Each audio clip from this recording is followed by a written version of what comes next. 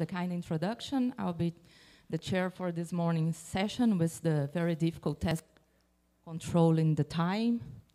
Try to be strict about it, the best of my capabilities. Um, this morning, first speaker, are set? This is me. Is Roland Roland Kawakami Ka- from the. Department of Physics of the Ohio State University. He's going to talk about 2D magnets. Yeah, yeah. So, Welcome um, to the stage. Yeah, we'll talk about 2D magnets. So we have uh, two sessions. This will be great. Um, yeah, it's like there's, it's like a trilogy, you know, Star Wars. Okay, we didn't quite finish this first one, I but yeah, this, yes. I don't know. We shall, we shall find out. I don't know what side I'm on yet.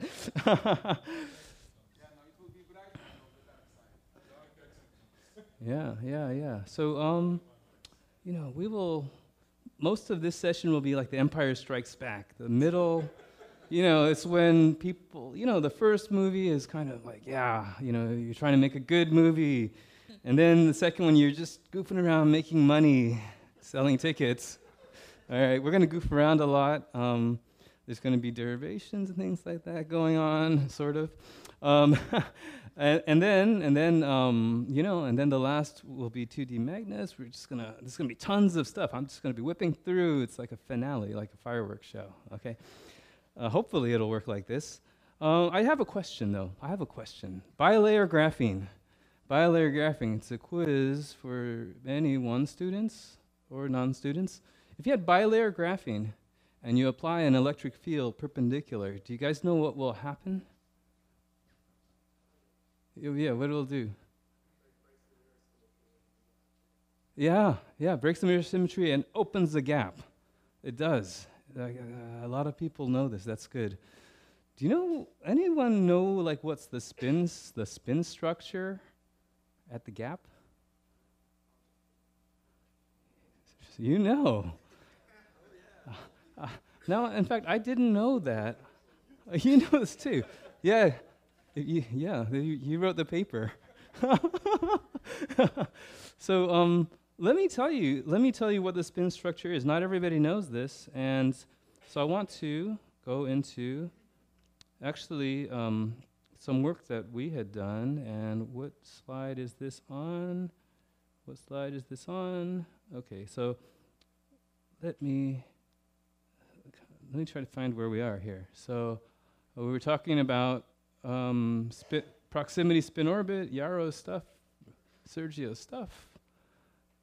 Very nice. Anisotropy equaling one is significant. Okay, okay. So okay. So here's a, a really cool experiment, and I guess it hasn't been done yet. Um, but you know, you can take. We're talking. Here's uh, Jaro's idea here. You take bilayer graphene, and then you put it onto some TMD, and then you can tune with a gate. You know, this proximity spin or- the spin orbit coupling. So here, the spin orbit coupling is strong, and here it's weak because the electrons or the carriers are far away. So this is a, a beautiful idea. It's called, called spin orbit uh, valve transistor, something like this, right? That okay, got to do this, got to do this, got to force my student to do it. Okay, and so so he's working on this, and it's like, wow, all this crazy stuff's happening. It's great. We're gonna like write the paper on this spin orbit valve transistor. It's so good. And I said, okay, but you know what? You should do a control measurement. Like do that thing without the TMD, right? And then and I said, then we can just write it up because it's all good. And so this was done. And it was crazy still. It was absolutely crazy still. And I was like, oh my gosh, what the heck is going on here? It was very tough. So let me tell you what's, what, what goes on. Okay, so here's the deal. Yeah, so you do know this. You apply the electric field and you open up a gap. And this is like in a photo emission measurement. Eli Rotenberg uh, did this very famous work, photo emission, and you can sort of see the gap opening or closing depending on the electric field. Yeah, and experimentally, the way that you do it is you have a top gate and a bottom gate. And then if they're the same sign, you're going to change the carrier density. And if they're opposite, then you're going to create this electric field, right? So you could sort of um, do a map as a function of top and bottom gate.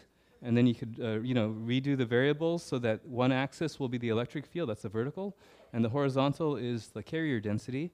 And if you look at this as the resistance, you can see that as you increase um, the electric field, the resistance goes up, right? And that indicates the gap is opening. So this is the, you know, the transport version of what's going on up here. All right, cool.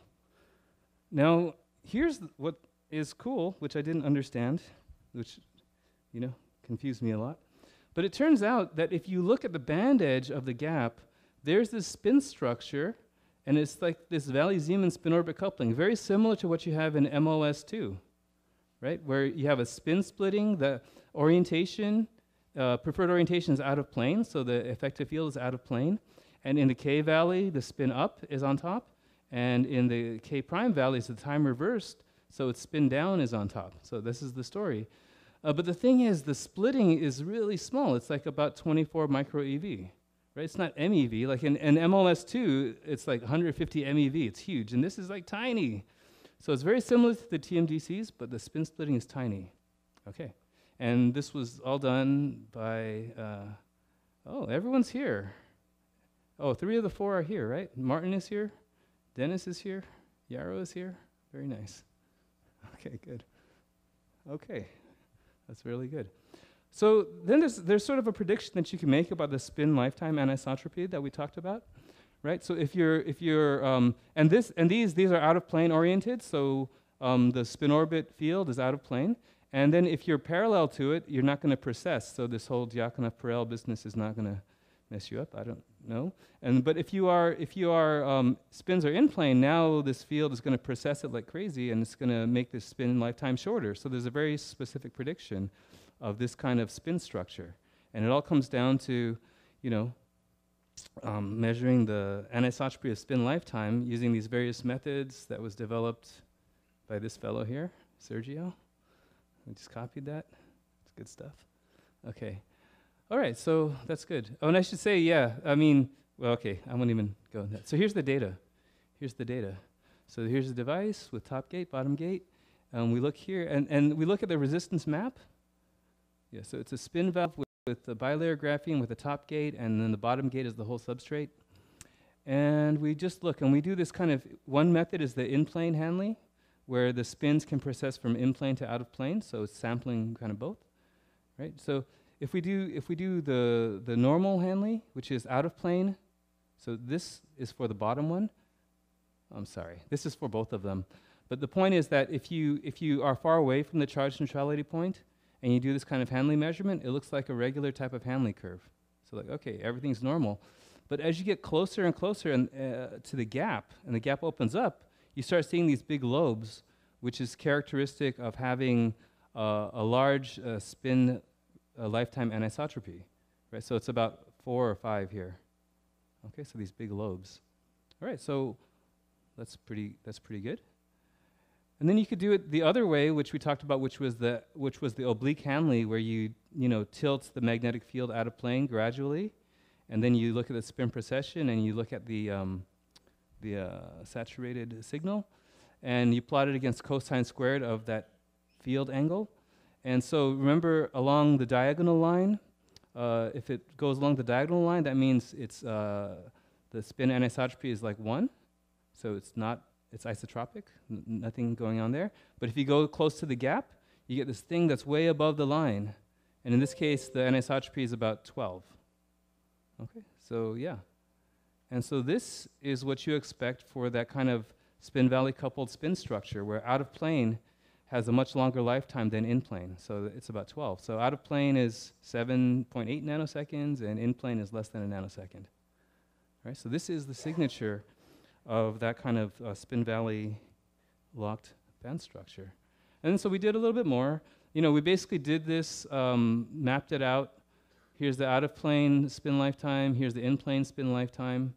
And here's the anisotropy ratio. So basically, whenever you're opening up the gap, and you're sort of exposing the band edge, which has a spin split structure, then you can, you can have a very large uh, spin lifetime anisotropy, right?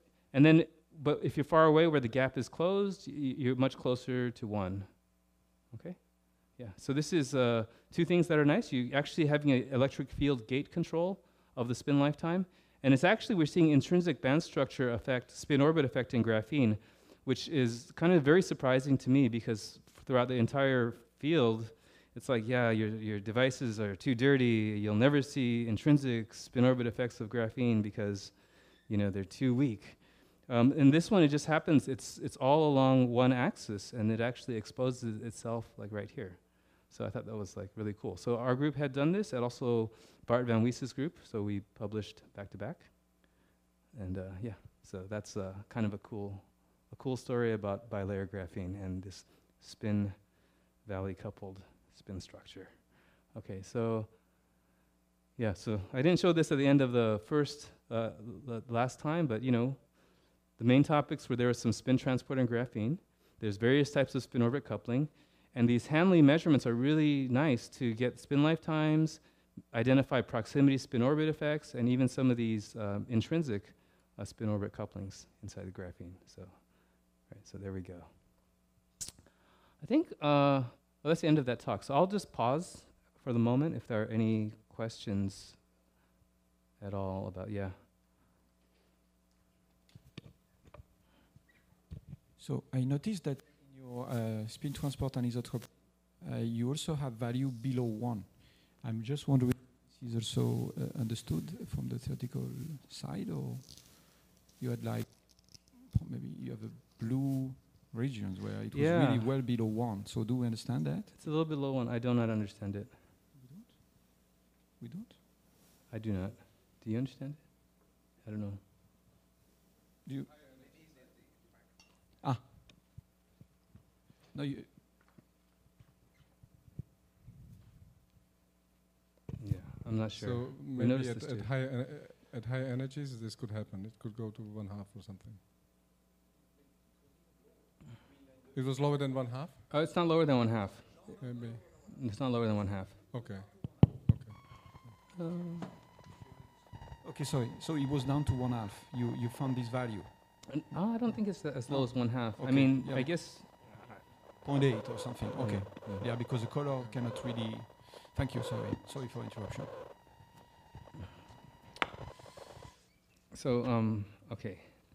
So to be honest about that, that those were done by mapping the in-plane B field, and it's less accurate than the oblique. Um, I don't think it's i- fundamentally um, less accurate, but if you you kind of need a three-axis vector magnet to make it more uh, reliable. I forget the exact detail why.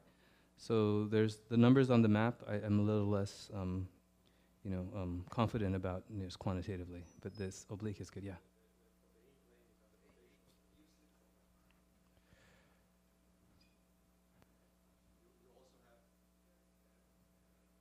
You also have the rotation of the ferromagnet for the in-plane one, so that makes it uh, more difficult because you rely on the on the shape of the Yeah. Hanle. So that's why I think it's less accurate. Yeah, yeah, yeah, yeah. So, yeah, basically for us quantitatively, we trust the um, oblique one more.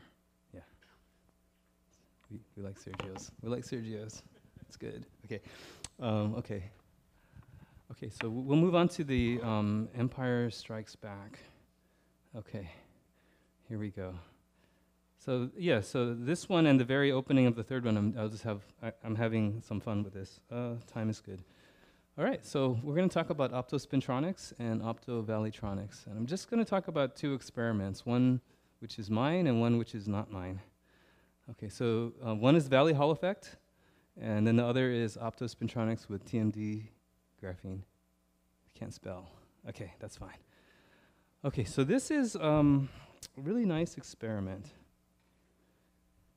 And it shows this Valley Hall effect in MOS2 transistors. And Stefan showed a slide of this. Um, yeah, so this is uh, for students especially. Okay, so so let me show you. This is the only data I will show you on this. So here's the experiment. Um, this is a monolayer MOS2, and then there's four electrodes on it. And on the horizontal side is uh, attached a voltage source, which uh, uh, produces a current. Okay, and then on the top and bottom A and B is a voltage probe, which is going to measure the Hall voltage. Okay, so that's what that is. And um, what's going to be done is i right in, the, in this junction, uh, circularly polarized light is going to excite electron hole pair. Okay, like exciton, but then split split up.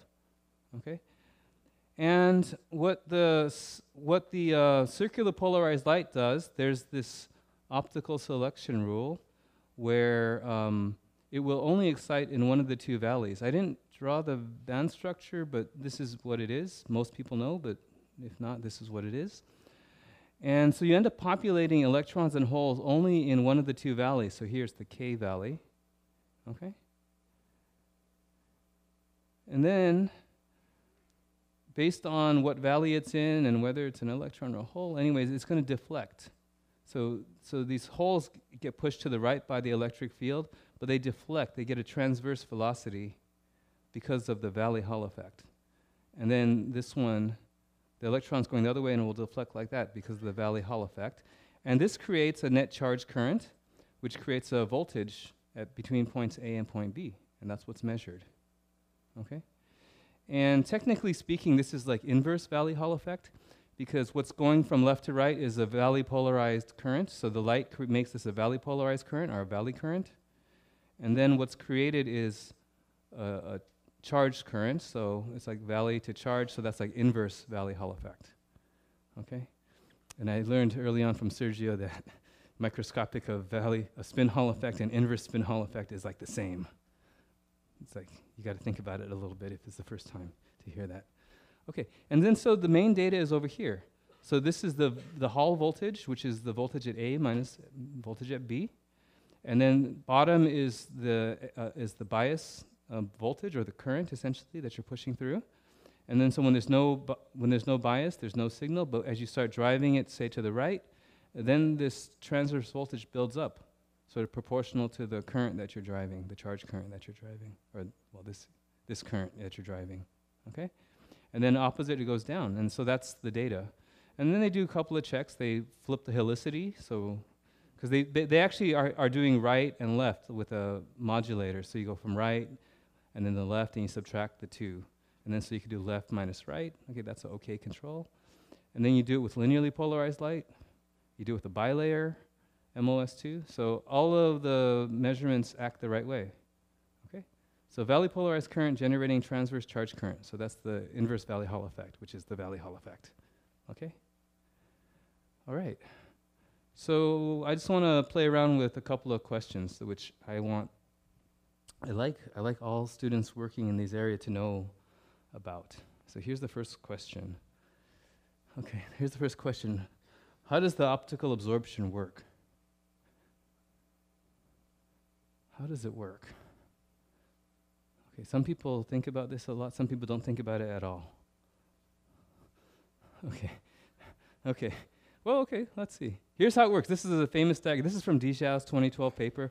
Well-known diagram showing valley dichroism. So, you know, this is MOS2. There's a little bit of splitting in the conduction band, but most of the splitting is in the valence band. On the K valley, the spin up is on top, and then the minus K or K prime valley, the spin down is on top of the valence band. Okay, and um, you do the sigma plus, like RCP type of light, and that will excite in the K valley, regardless of whether you're on the spin up side or the spin down side. It, it doesn't care about the spin so much; it cares about the valley. Okay. And um, this one, uh, you know, is sigma minus. It cares about the valley, but not which spin level it's from. So it's really valley dichroism. Okay, everything still sounds good, right? Sounds good. Okay, so um, does anybody know what's weird? But what I'm gonna animate in next? Just curious.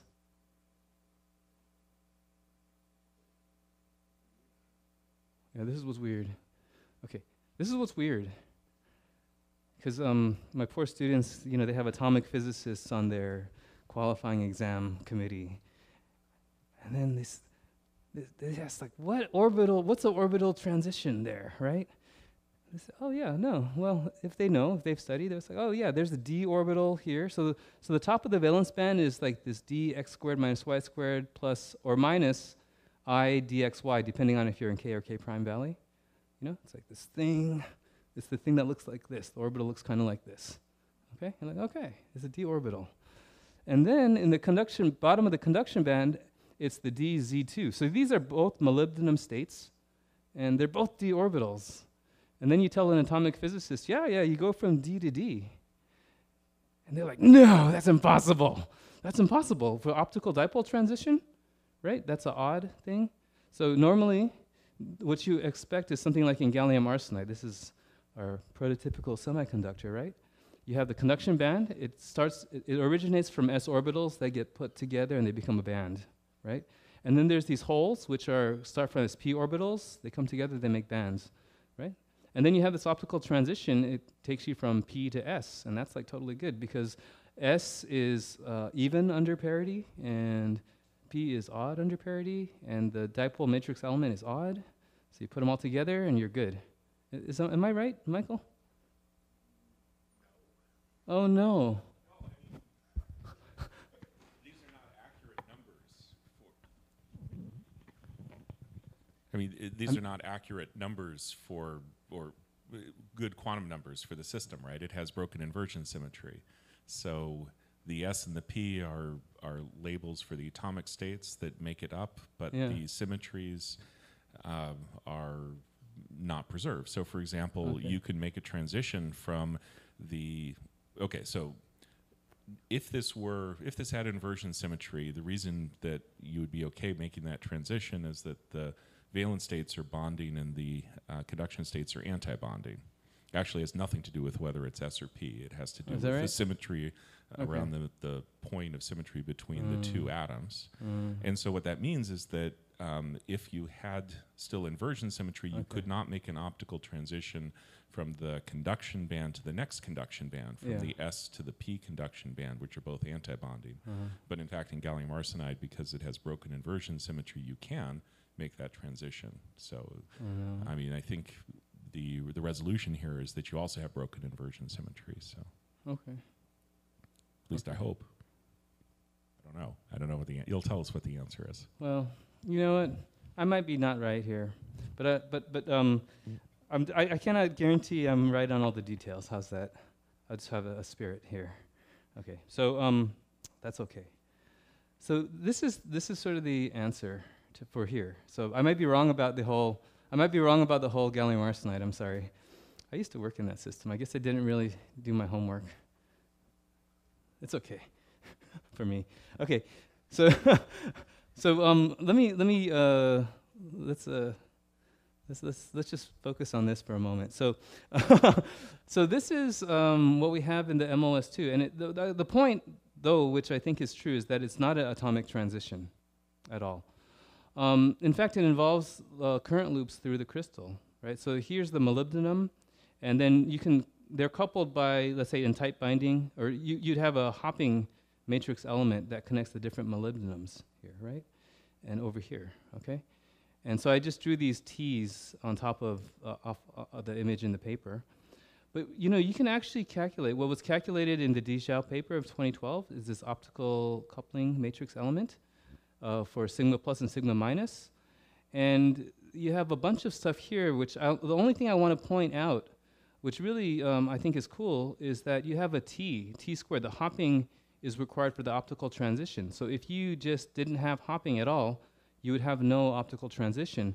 So it really involves uh, some current loops, some orbital current loops that happen throughout the crystal. So it's really a transition that really relies on the crystal structure itself, not necessarily the specific element. So you end up seeing a, lo- a lot of materials have this kind of same structure as MOS2 does. And then they have a similar kind of optical transitions and um, you know valley selection rules and so forth.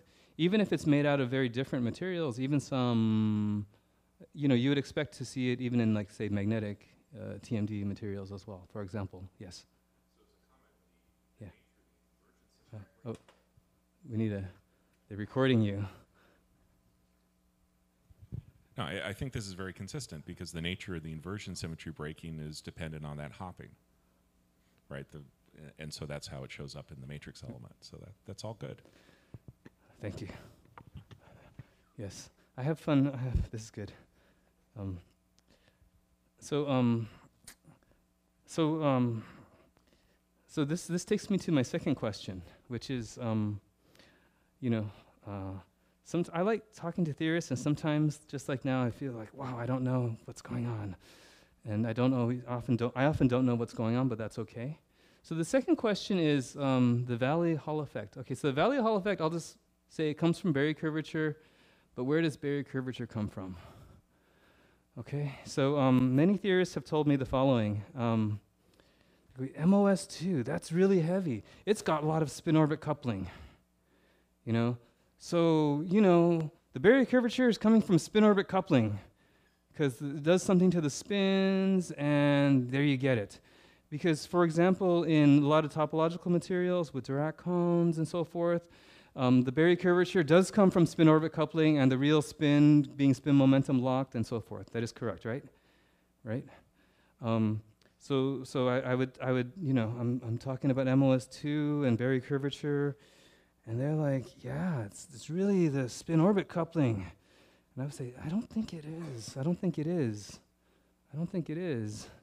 Because I've been studying this with my student. I don't think it is.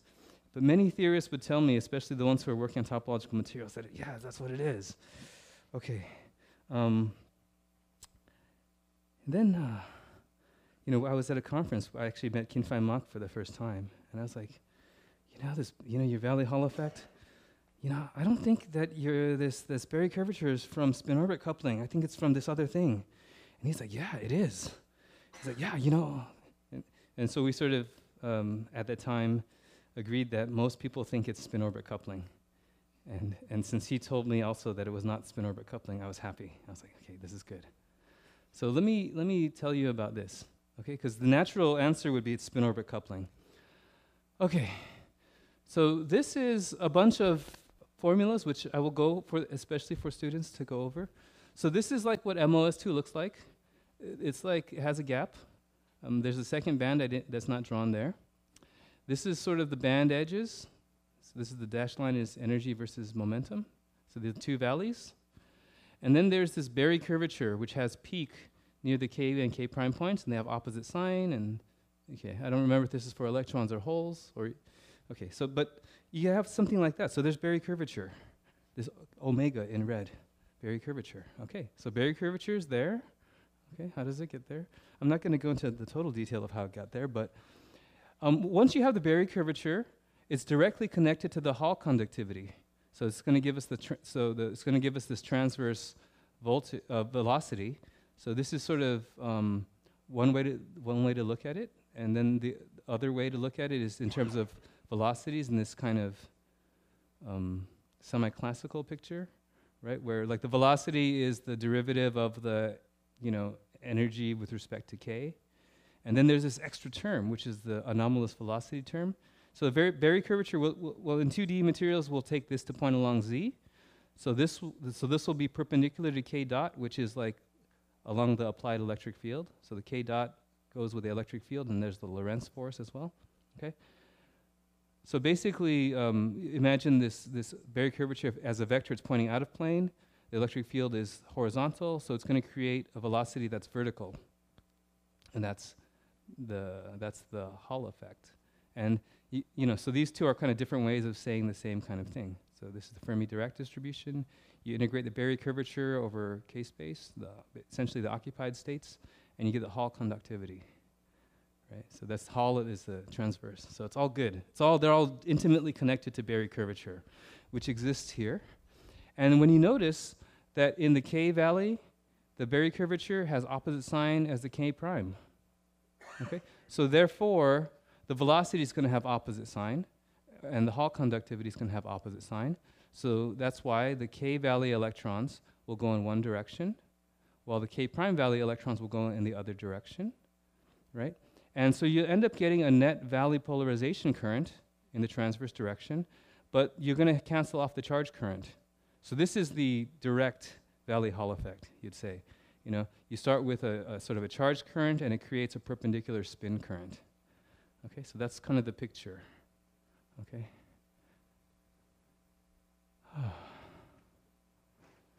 okay, I'm, I, I will not go into what exactly Berry curvature is in Berry's phase. Questions, yeah. Yeah. Uh, where, uh, what is your conclusion? Depend on the uh, spin orbit interaction or not? Okay, what's the conclusion? there we go. Okay, okay, very good. Okay, MoS2 has large spin orbit coupling, but the Berry curvature in MoS2 does not come from the spin orbit coupling or from the real spin. That is the conclusion. And I wanted to try to uh, make this believable without going into like, I mean, there's a very famous 2010 review article about Berry phase effects in solids, and there's like lines and lines of equations and all this stuff. I said, and I want to minimize it so I don't like go through all that stuff. So not the definition of Berry curvature or this or that. Okay, but okay, so I'll do it like as follows. Okay, what the heck happened here? This is wrong. This is not good. Okay, I'll just delete that and start. Keep going. I don't know how that got there. Okay, so we'll look at Berry curvature in three materials. One's graphene, one's boron nitride, and one is MoS2. Okay, so the band stru- uh, and graphene is all carbon, and there's two lattices, A sublattice and B sublattice. You do the tight binding stuff, you do all that stuff, and then you'll get like two Dirac cones, one at K and one at K prime. We're all familiar with this, okay? And, um, and then you could also calculate not just the energies, but you can calculate the wave functions, right? And these wave functions are linear combinations of pz orbitals on A and pz orbitals on B. So I call this 1 and 2, but it's pz orbitals on A, pz orbitals on B, and their superposition. So those are the two basis states, and that's it, okay? And then you solve it, and you can write A and B as a little spin one half vector, and that's called the lattice pseudospin. Okay, and then so if you talk about see graphene and there's a pseudospin chiral thing, and they all point radially and stuff like that. That's what that just represents um, the A and B coefficients of this wave function. Okay, lattice pseudospin. Okay. All right, let's go to let's go to boron nitride. Boron nitride is very similar, except for um, the two elements are different, so their energy levels are different. Um, and you need to think in terms of symmetry. Now you've broken in inversion symmetry. So graphene has inversion symmetry, which sort of protects this Dirac point. But now you've broken it and you create a gap. Okay. But it's still very similar. It's, it's, like, it's like a graphene with a gap, essentially. Um, and now you have the same wave functions except for the phi 1, which is like, you know, this is a Bloch state. Um, that'll be a pz orbital on the boron. And then phi 2 will be a pz orbital on the, um, on the nitrogen. And then, you know, the linear combination, A plus, you know. And then you just take those coefficients, you draw them like a spin one half, and that's a lattice pseudospin again. Very nice. Okay. Let's go to MoS2. MoS2 is here. Um, and MoS2 looks look, looks a lot more complicated. It's three dimensional, right? It's it's like uh, three atomic layers. But if you look from the top, it looks the same. There's molybdenum and there's sulfur here. So that's like good. And then if you work it out, um, you end up having it's similar to boron nitride, except for you also have this big spin orbit splitting because molybdenum is heavy. So your valence band gets a big spin splitting where the K, the top level, is spin up, and the bottom uh, uh, and the um, K prime, the top level, is spin down. So you get this big spin orbit splitting. Okay, and your wave functions though are going to be written in terms of no, it's not. To- I hope it's okay. Okay, so I can imagine if there could be some spin or actual spin orbit effects that go into this too, but you know, basically, uh, the states at the top of the bands, the, the, the, the states that are involved here are they're all on molybdenum. Okay, and then one of them is this dz squared of molybdenum, which I mentioned uh, when we're talking about optical transition. And then there at the top of the conduction band is this dx squared minus y squared plus i dxy. Okay, so these are the states there. So these are the two primary states at the gap. And you can write those as a um, super, uh, as a linear combination, and you can write that as a vector, one spin one half, a, b. We, we don't call that lattice pseudospin because it's not A and B sublattice. They're both on the molybdenum, so we'll just call that pseudospin. Okay. All right. So so those are the three band structures. Okay. I'm going to sort of scroll up. No, no. Okay. Sorry. I don't know why that's there. Okay. Let me delete that. Okay. So um, let me get back here. Okay. All right, so I just rewrote this lattice pseudospin. Now let's look at the Hamiltonian, right? So for graphene, the Hamiltonian is, well, this is from that paper. It's AT times tau, which is the valley index, kx sigma x, and this is sigma, this is Pauli matrix for pseudospin, um, lattice pseudospin in this case. And the more, nor- the more common way that's written is like h bar Fermi velocity sigma dot k, where k is the momentum and sigma is the lattice pseudospin. Okay, so that looks pretty good. Now in boron nitride, it like it's the same, but you add another term, which uh, you can think about it as a mass term or it's a gap term, where it, it's as, uh, it goes along as sigma z and there's a delta. So this is like the gap in boron nitride.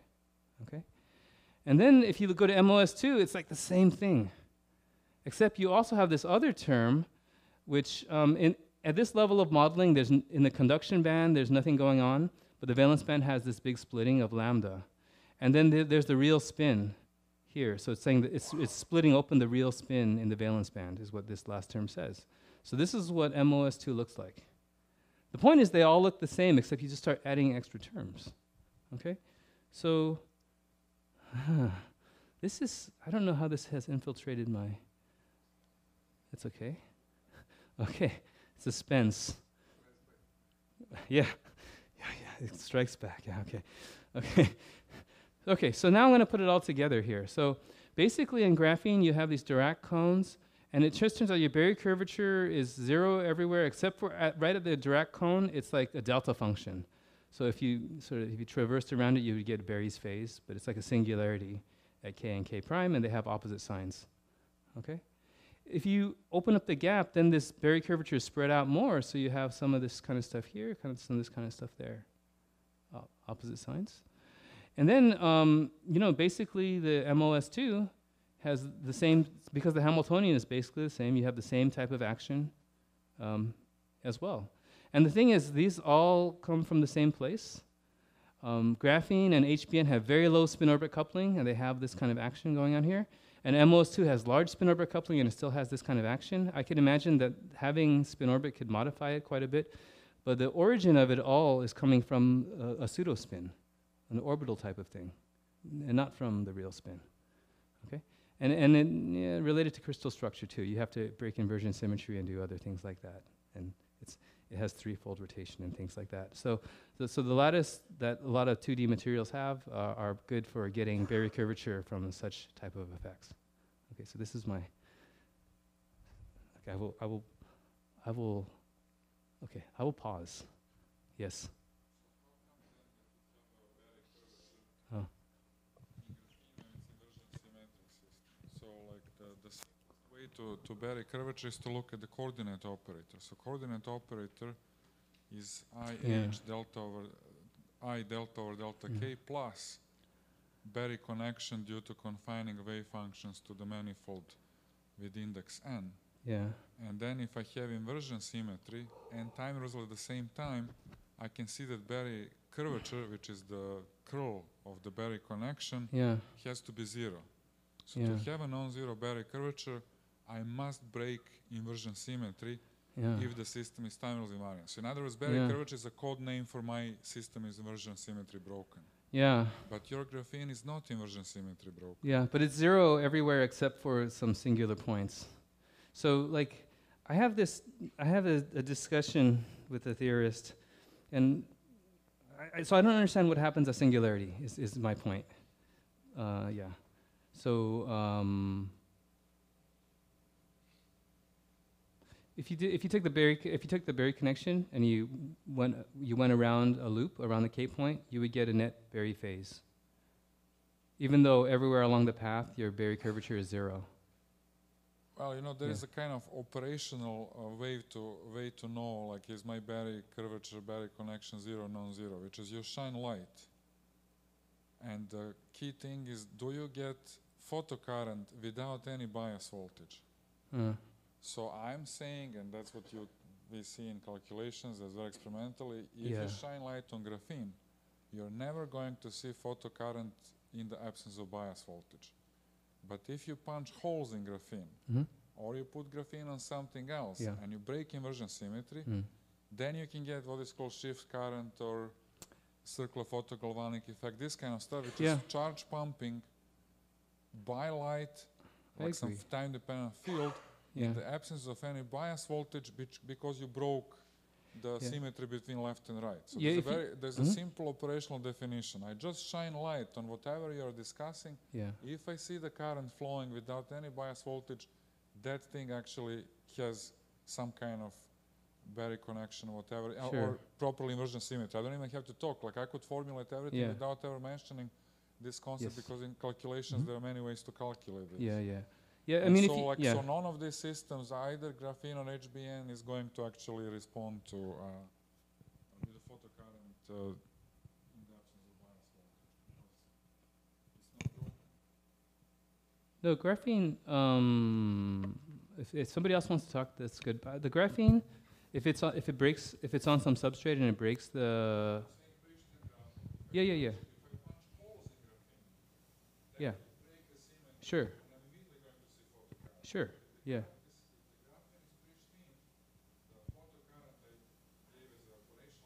Yeah. Yeah. But if you, like, if you put it on HBN, if you put it on HBN and you, um, yeah, you break the inversion symmetry and then you'll get, you'll probably create a small gap and then you'll create some Berry curvature. Yeah, so, yeah, so I think in graphene it'll be zero, except, you know, you have the singular points at the Dirac point, so I don't know. Yeah. Oh. So if the system is time reversal invariant, mathematically Berry curvature is a code name for my system is inversion bro- inversion symmetry broken, non-center symmetric. And I don't Okay. have anything to do with spin. It's purely orbital stuff Yeah, yeah, yeah, about yeah. Bloch wave functions, yeah, yeah. confinement to a given band. Yeah, but like when you do, so I mean, the thing is, when you do a quantum Hall measurement, you get like this Berry phase when the when you go one time around the K point, even though there's no Berry curvature there. There's just this going around this singularity at K point um, has a physical effect in, in that sense, in that case. So, yeah. Okay, so, so Yeah. maybe just a comment. So if you have a system which, ha- which is time reversal uh, symmetric, then the overall Berry curvature over the Brillouin zone is zero. It's, it's, it's, it's- it's a mathematical statement. It has nothing to do with inversion symmetry or not. So graphene is inversion symmetric. There is also light absorption at the K points because you have e to the i k something, which gives you the dipole moment needed. And you can have at and that's why you have at k at k prime exactly opposite Berry curvature, so the sum is zero. So if you break the valley symmetry by whatever time reversal symmetry, then you can have this valley Hall effect and address it by light or whatever. So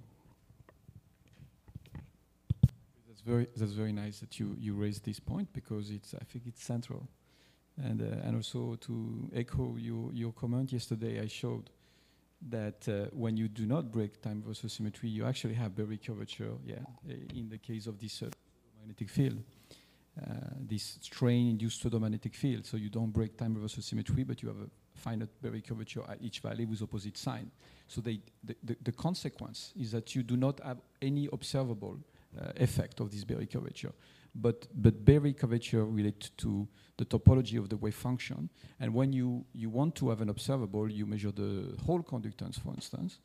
And, um and so that, that's a point. Sometimes the, the, you can observe manifestation of the Berry curvature and in, through the Hall conductance, and you will have a Chern number that will be the, will determine uh, the quantization of the Hall conductance, and sometimes it's just not appear because this this is cancelled. And uh, so I think that that's a great point that you raised because uh, everything is is actually uh, I think we are all agreeing with that, but it's actually depending on the on the property of the wave functions and their Mhm. correlation somehow when you start to move uh, those wave function and you look at their correlation. So that's that's that's a kind of topological property of this wave function their very good. Okay, all right. So this is great. We're right on schedule. Okay, so uh, second part of my talk is uh, optospintronics on MoS2 graphene, and this is an experiment that one of my students, uh, Kelly, Kelly did. I really, really like this. Um, So it's this idea, you know, we've been talking a lot about proximity effect and heterostructures, and this is not about proximity effect per se, but it's really trying to take advantage of the best properties that you have of graphene and uh, MoS2. And what's nice about graphene are these long spin diffusion um, lengths and so forth. And what's good about the MoS2 are these optical valley selection rules. Okay? And so we want to try to bring them together and to take the advantage of both. Right? So graphene is tough because there's not a spin dependent optical selection rule. And for MoS2, uh, the, the spin transport is not so good, although the material is improving all the time. Okay? So, okay, we know about the optical selection rule. So we're going to use circular polarized light to excite, um, uh, you know, electrons from valence band to conduction band, um, like this A exciton resonance, which is from the top of the, the top valence band, and the B one, which is from the bottom one, which has opposite spin. Okay? So we want to do this. And so what we want to do is we want to uh, do the following. We want, we want to take MoS2 and create some spin polarization with the light, put them inside, uh, connect it with graphene, and have uh, the spin actually get transferred from the MoS2 and into the graphene. And to verify that this is happening, we're going to want to detect it uh, using a ferromagnetic electrode, just like we do in these graphene spin valves. Okay, and then we want to apply a B field so that we can precess the, the spins to point along the axis of the ferromagnet. Okay, and so I will mention that, so we have done this work, and also uh, Ahmet Avsar, who's here, and his experiment did a different material and also had an out-of-plane field, so, so it can actually polarize it, um, polarize the ferromagnet out of plane. So did it in a different way, and their results are all consistent. Okay, all right. All right, so we want to have a spin injection, optical spin injection, a lateral spin transport, and electrical detection, right? So this is sort of trying to demonstrate how versatile uh, heterostructures can be in terms of spin. Do they get preserved and so forth? Okay.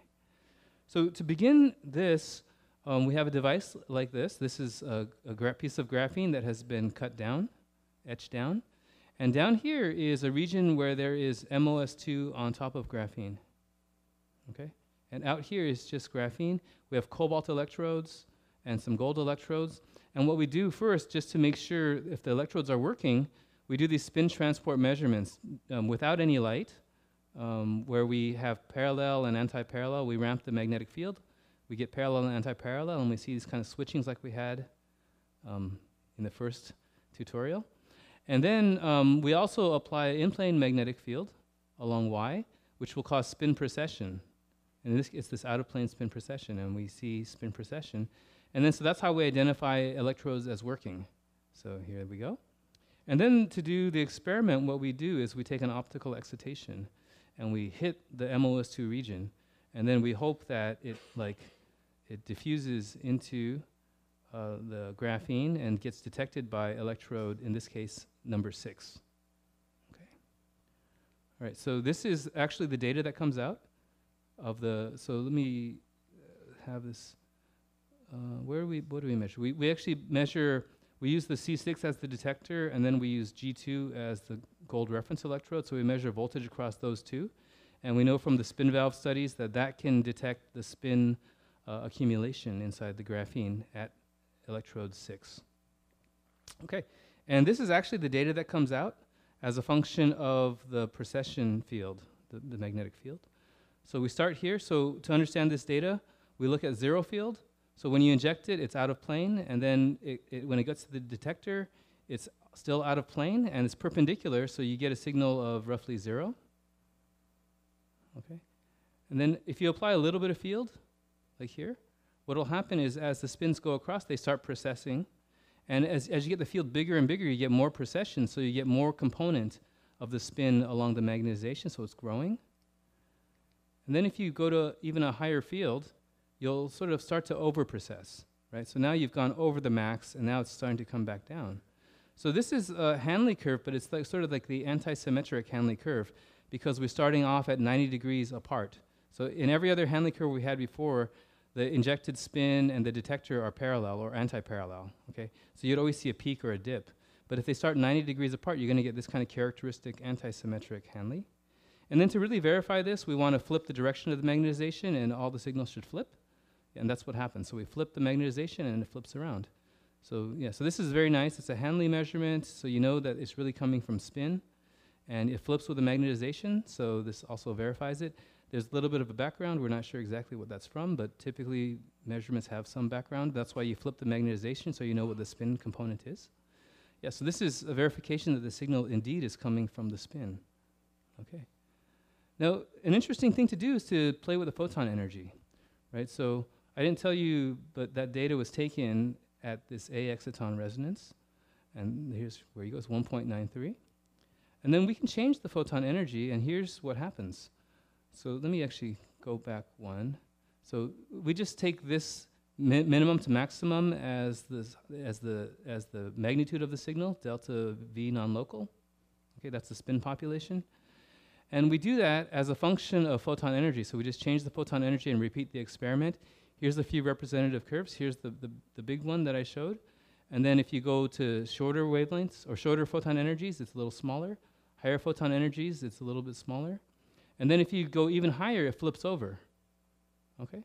So you can sort of plot this out. So, so this is where the first data was. This is at lower energies. There's higher energies. And then is a flip.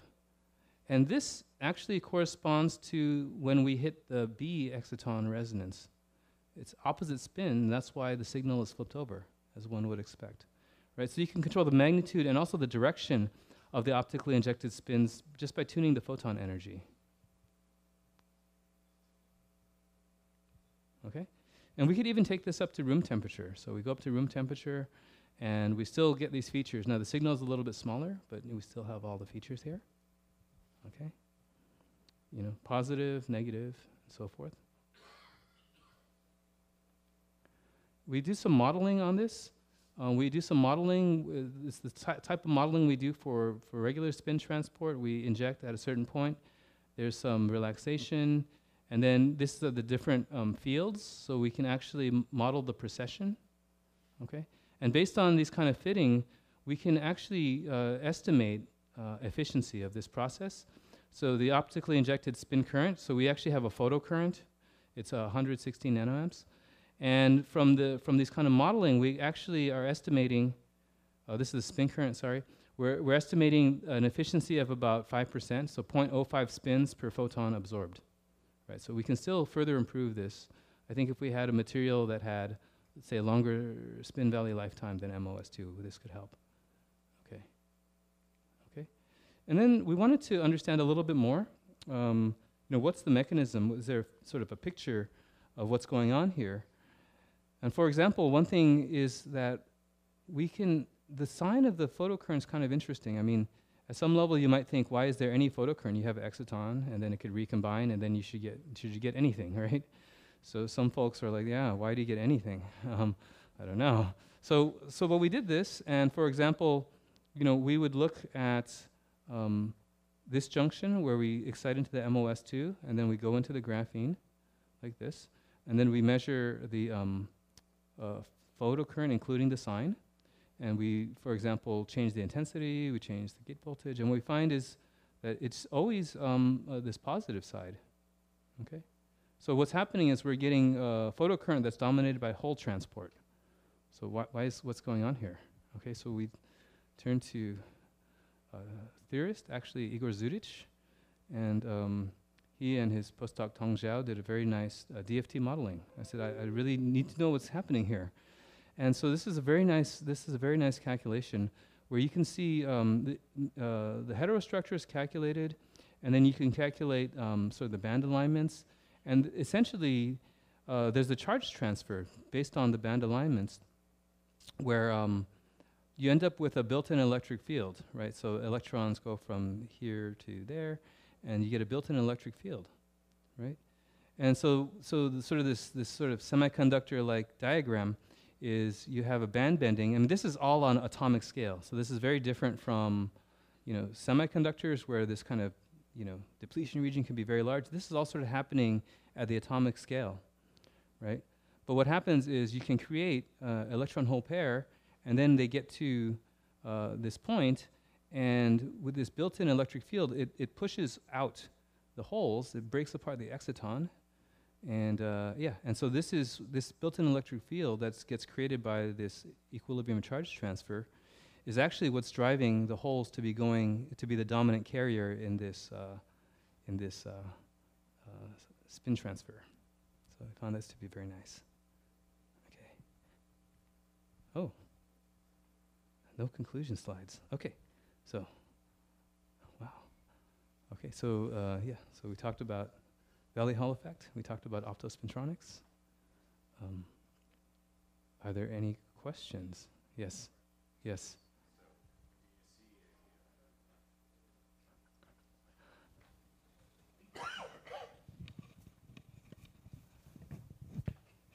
So from the uh, description of the Valley Hall effect, and you know, which l- looks very uh, consistent and sensible, the question is, uh, do you or anybody else see a Valley Hall effect in HBN? In HBN. HBN, um, it's an insulator that doesn't have carriers. I don't think people do transport in it. Is there So a you way? can't you can't dope it. um, I don't know. I don't know. Uh, does So I mean, the the direct prediction from what you have is that there should be right. if you dope it, you should get a Valley Hall effect. I think I don't know. I don't know if people have doped it for conduction. Is there surface channels or something? I'm not sure. All right. Yeah. All right. So um, Yes. I want to go back to the first question that um, Branislav actually, Yeah. the co- his comment, because I think I didn't quite underst- understand uh, what Jaroslav and, and Stephan explained. So I, I know the argument that I mean, Branislav said, which is quite general, right? If you have inversion symmetry. Um, the Berry curvature omega of k is equal to omega of minus k. And if you have time reversal symmetry, omega of k is equal minus omega of minus k. Kind of like the usual argument for time reversal symmetric uh, uh, system. So if you have both inversion symmetry and time inversion symmetry, you have to have zero. So I don't understand. Can you explain to me? I, I I really don't understand. Uh, yeah. So, yeah. So I said exactly what you said, but there is something uh, mathematically pathological in graphene which has nothing to do with physics. And so the pathology is that uh, the Berry curvature is a vector with three components, but graphene only lives in 2D space. And so the, the, uh, uh, the two momenta are in the plane, but the third one is zero. And then exactly at the Dirac point, you can get something which looks like infinity, and then you have to regularize with a non-zero gap and look at the limits, but all of this stuff is like useless. It's just some kind of mathematical trickery. It's a pathological, so like technically speaking, as you said, anything which is inversion symmetric and time invariant has zero Berry curvature. So Berry curvature is a code name for some symmetry breaking. But there is something pathological in graphene depending on whether you consider a 3D vector or 2D vector.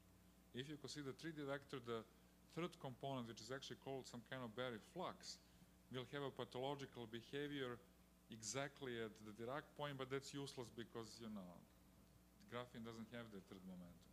And you have to add a small gap and then look at the limits, blah, blah, but it looks like to be just pure mathematical trickery, nothing, nothing real.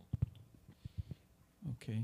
So um, I think what, what Roland was also pointing out is that, uh, I mean, Berry curvature, but we can speak about Berry phase, okay, which is a sim sim simple somehow because it's a it's a property of the wave function when you when you somehow you make a transformation in your in the magnetic Brillouin zone, for instance, something like that. So you get a you get a phase factor that can uh, then uh, appear in some observable, and Berry's phase appear at, at a finite energy. The Berry curvature as, a, as an observable consequence when you integrate in the energy. It's not a, it's not a Fermi C, uh, um, has no Fermi Fermi surface consequence. So let me let me um, um, ask a question because I think one of the very um, interesting and puzzling phenomena is the fact that when you create excitons in TMDs, uh, you can observe a drift of those excitons that actually uh, will depend on the valley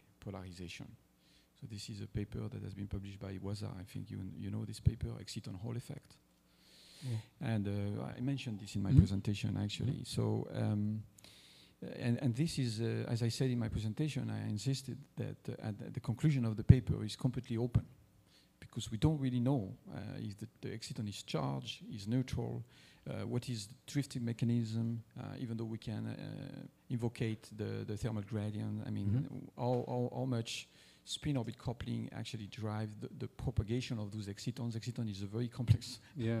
yeah. many body particles, and and in in a, in a landscape where you have a spin orbit coupling field, uh, what's going on actually Yeah. when you have two or three. Uh, uh, two electrons and one hole, or one electron and one. So I don't know if you have um, uh, considered to to go uh, also um, beyond your experiment to address this point. And a, a second Yeah. question I will have is the mechanism of what you measure as a spin signal, which is which is coming from the uh, photon polarization and exciton formation.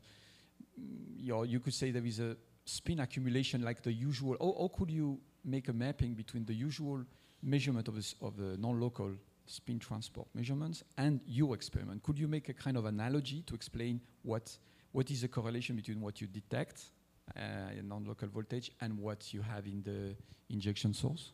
Uh, yeah, I, I think, well, for the second part, you can, and it's just modeling, and it's how much do you trust the modeling. Um, yeah, but for the first part about exciton, diffusion, and drift, and things like that, I think that's very exciting. I think Ahmed has done some nice work on this, and I think Philip Kim has also some nice work on this.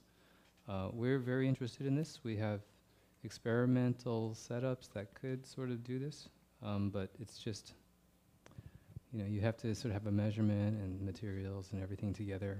But I think those are really exciting topics. Yeah. So Yeah. we have already ran out of time, so we just have time for one more question, and you can discuss more uh, during the, the 15 minutes cough break.